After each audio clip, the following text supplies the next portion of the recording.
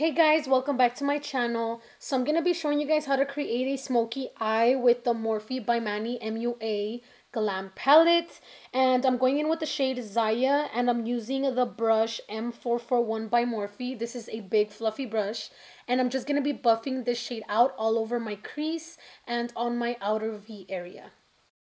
The next shade I'm going to be going in with is called Spellbound. And this is like a brown with a reddish undertone.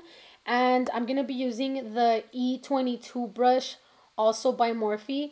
And I'm going to be putting this on my crease and on my lid. Okay, don't click out of this video if you want to learn a trick to blending and creating a smoky eye. So right now I'm going back in with the M441 with no product and I'm just blending those two shades together.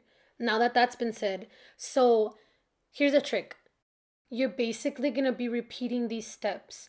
You apply the dark shade and then you blend it out with the light shade, right? With with that brush. And you're only applying a little bit of the dark shade so that you can build it up slowly. So you apply the dark shade, you blend, and then you apply more of the dark shade and then you blend again. See, this is my second coat right here. And then I'm going to be blending it out with that same brush with no product just so that they smoothen out and you don't have any harsh lines. I don't know if you guys get what I mean. If you guys have any questions, just comment down below and I will answer it as best as I can. See, now I'm going back in with that brush M441 with no product and I am blending the shades out again. Continue doing this step until you know that that's how dark you want your eye to look. And that's the trick. So you simply build it up little by little so that you can get to the results that you want. And I know that a lot of people make mistakes and go straight into the dark color, and you're not supposed to do that. Although there is no rules, but you know, this is just my way of teaching you guys. Next, I'm going in with the palette Make Life Colorful by Morphe, and I'm going to be using the shade NYC. It is the blackest black I have ever used, and I'm going in with the brush M506 by Morphe as well, and I'm going to be applying this on my crease. I didn't grab too much of it with my brush. I only grabbed a small amount because this is very dark and I want to avoid making any mistakes, which is why I showed you guys that previous step where you apply a little bit, then you blend, and then you apply more, and then you blend, and then you just little by little build it up like I said. So to blend this shade out, I, if you guys can see, I'm laying my brush down on my lid as I'm dragging the brush side to side. That helps me keep the brush steady so that I don't accidentally go too high or too low. Black is actually one of the hardest shades to deal with, so this trick always works for me. And as you guys can see, I'm not dragging the black all the way into my inner corner of my eye. I don't like to do this all the way in there because I don't want to look like a raccoon.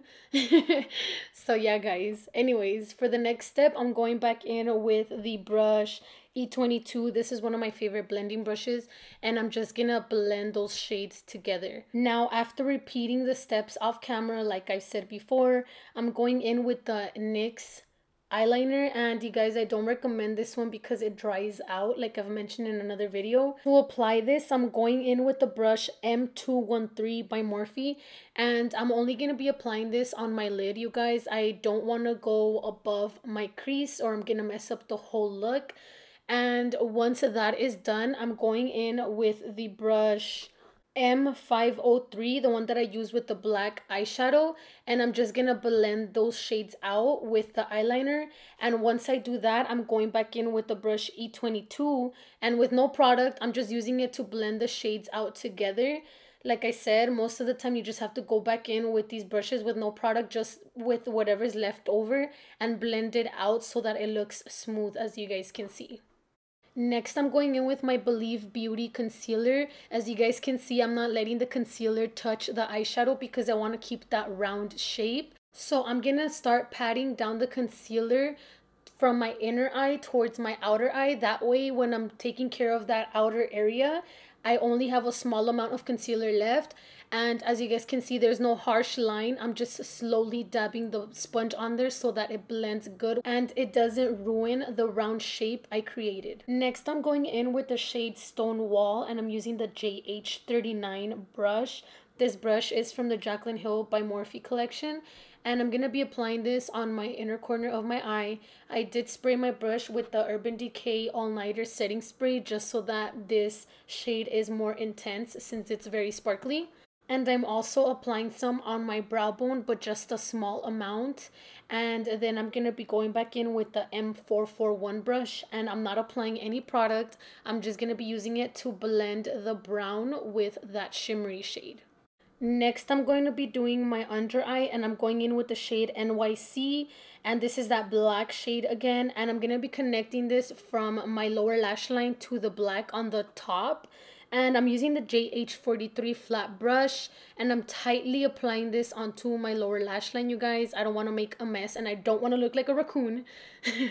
So after we apply this shade I'm going in with the shade Spellbound and the brush JH40 and this is that reddish brownish shade and I'm gonna be using this to blend out the black just like the top and create the smoky effect. And now I'm going in with my favorite mascara. This is the Better Than Sex Mascara by Too Faced. And I'm going to be applying some light coats on my top lashes and my bottom lashes. And then I'm going to be going in with my false lashes from Lash Couture. And these are in the style Gala. These are perfect for this eye look because they give you like a cat eye vibe. So once that is applied, I'm going to be applying some highlighter. And this is in the shade Apollo and that is the final step for this look you guys. Thank you so much for watching. Don't forget to click the subscribe button and give this video a big thumbs up and i'll see you guys in my next video